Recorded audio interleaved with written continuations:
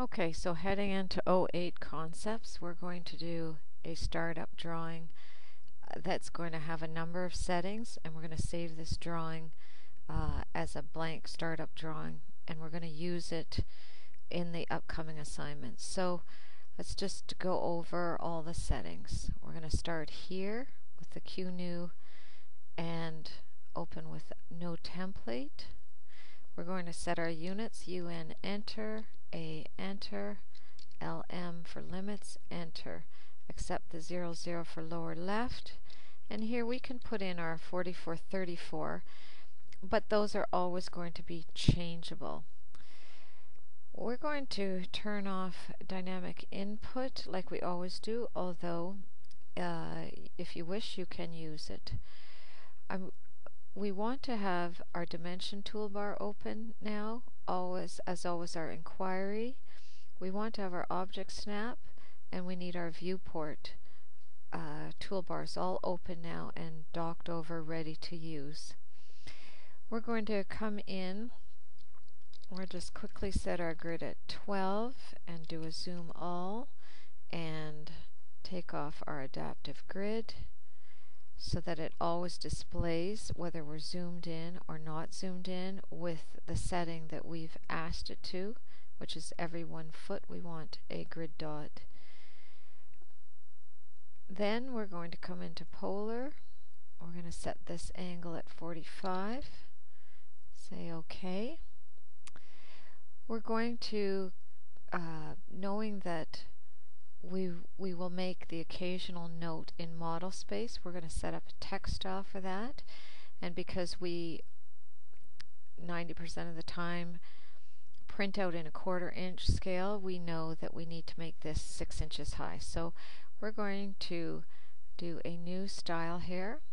We're going to call it MS for model space, 6 inch notes and we'll set this as recommended by uh, the manual. We're going to set this as Roman S and height of 6 inches.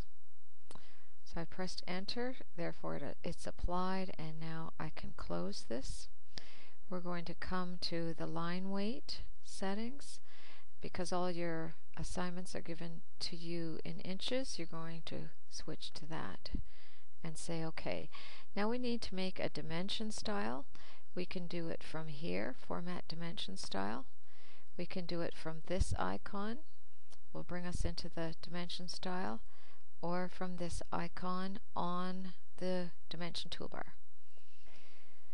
So once we're here, we're going to create a new dimension style. We have the standard, we're going to make a new style. It's going to be called paper space dimension style. And continue. And here in lines we want to extend beyond the ticks. Actually let's start over here and set the ticks because we can't get to that one until we do. So architectural tick or oblique is fine. And the arrow size, we're going to make 330 seconds, enter. And then I'm going to come back here. Now we can access that one. 330 seconds, enter. Extend beyond dimension lines. We're going to switch this to 1 eighth. Enter. Then we're going to come over to the text tab and we're going to click this browse button here. And we're going to make a new style and we're going to call it just to remind us it'll be paper space dimension text. Say OK and here it is here. We're going to make this Roman D We're going to leave the height here. It's, it's already set outside over here. But we are going to squeeze it together a little bit. Make that 0.8. And you can see that change in the preview. and then we're going to apply this, close this. We're going to switch our text style to our PSDIM text and we're going to make the height 3 30 seconds. Enter. Vertical placement, we're going to place our dimensions above. So watch the preview, it will change to above. We are going to offset from the dimension line 1 132nd. Enter. And we're going to align with the dimension lines. Then we're going over to the Fit tab. If there isn't enough room to put both the text and the, the ticks in, the first thing to move outside will be the text. Text is going to be placed over the dimension line. Let's make it without the leader and we leave the scale as is. Our primary units will be architectural. We're going to use diagonal fractions and we're going to take this suppression off for inches and we're going to say OK. Now we're going to make that new dimension style, PS dimen, our current style. So set current and we're going to close out of here and you will see that we've set both the current uh, text style and dimension style. If we plan on putting notes in model space, we'll need to switch to that one. If we're putting notes over in paper space, we'll need to have this one on. Okay, also in our startup drawing we want to have our layers set up, the ones that we use for our projects all the time. So you would set up your walls layer with the 016 uh, line weight. We would set up a viewport layer to put our viewports on and we would uh, click that little printer so that it never plots.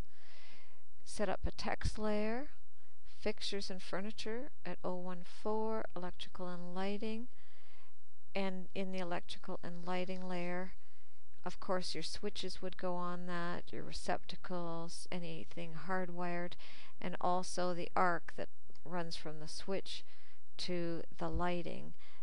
If we have this at continuous, then we have to do an override in our drawing to switch that to dashed.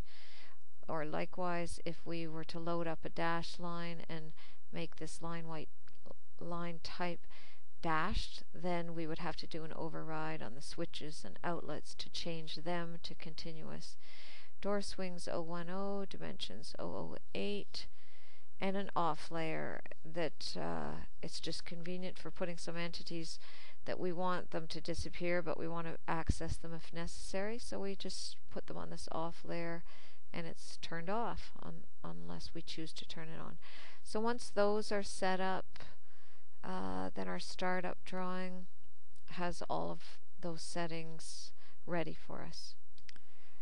And at this point, we are going to do a file, save as, and you would put that in your M drive, and you could call it Start Up Drawing with all settings.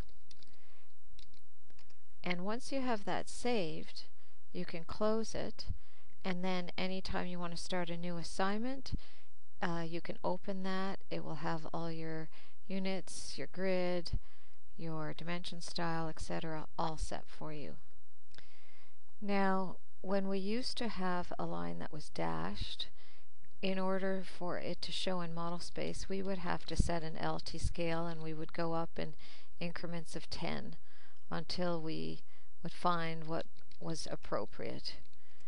Uh, now for our drawing, we're just going to leave the LT scale at 1 because most of the time we plan on printing out from paper space, which is over here, layout space. And I just want to give you a little demo here. Here's one viewport. I'm going to do a zoom all so I can see my line right there. And I'm going to set a 1 8 inch viewport there. So that line is 20 feet long out in my model space. And here it is showing in my viewport. I'm going to make another viewport. And I'm going to make this viewport one quarter inch. You can see that our dash line is displaying differently in two different viewports. And I'm going to set this one at one half inch. So each time uh, these display differently, which isn't what we want. So th there is a little necessary step. We do leave LT scale at 1 and we have something called paper space PSLT scale and by default it's at 1 and we leave that. When we want these to display correctly we always have to for some reason click back out to model space and back to layout space and now you can see that they all display the same way. It is true that when, when we are in model space, we're working with a dashed line and you can't see it and that throws some people, but since the most important thing is how it will print out, uh, this is how we work the system.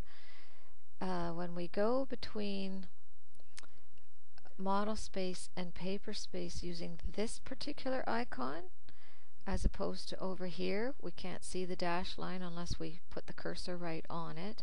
When we're in paper space here we do see the dash line. When we come to model right here within our layout we can see it in model space here we can see it in paper space here. And this icon also when I click it and we get this red line around it we're working now in model space and we can see the dash in there and just this is another way to toggle between model and paper.